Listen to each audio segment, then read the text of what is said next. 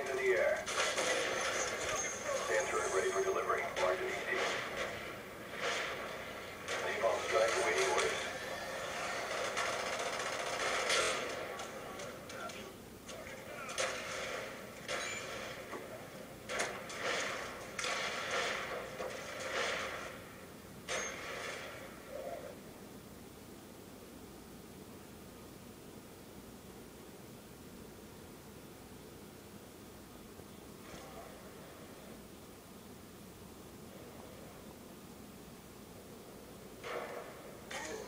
Off the bed too. I was just shooting it through the freaking wall. Holy shit.